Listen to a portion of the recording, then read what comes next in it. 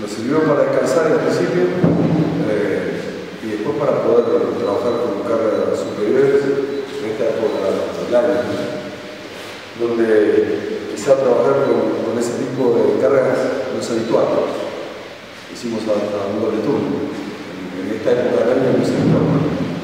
Eh, así que esperemos que mañana se vea, se vea la cancha, porque trabajamos hasta semana y media que nos dio, que nos dio la fecha FIFA. Se perdió un partido que para mí no era de nadie. No porque nosotros hayamos jugado bien, ellos tampoco. No fue un buen partido. Pero no era para perderlo tampoco. Después del análisis que hicimos, de ninguna manera. Y la única manera fue con estos fallos que, fueron constantes. Eh, yo creo que va a ser un partido difícil. Lo que vimos Tigre, aún con bajas, porque tengo entendido que van a tener bajas. Eh, la más factible es la de Rincón, la de Menossi. Eh, vamos a ver si vuelve Gasparini.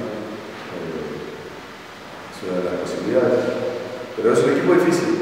Es un equipo que se ha vuelto fuerte. Eh, creo que Pedro encontró el equipo y, después juegan bien.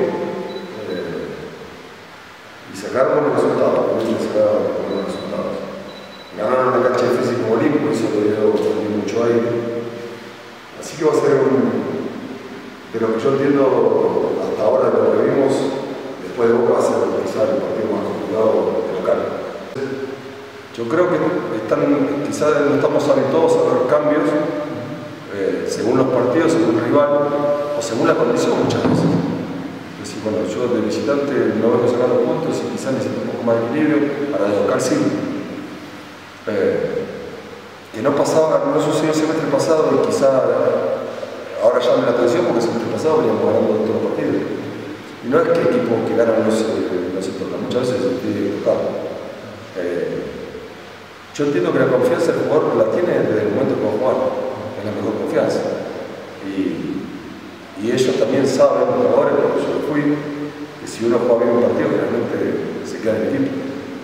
Como consigo el fútbol, ve que que cuando hay muchas piernas siempre tiene que ir el fútbol por otro lado y en donde hay muchas piernas va al medio de las piernas se pasa. Entonces, cuando alguien rompe tanto los esquemas eh, y rompe con la lógica que se transforma en un y, y es argentino y no. Ah, yo lo espero es que la selección le vaya bien. Creo que como todo el fútbol argentino y, y estar otra vez en mundial, para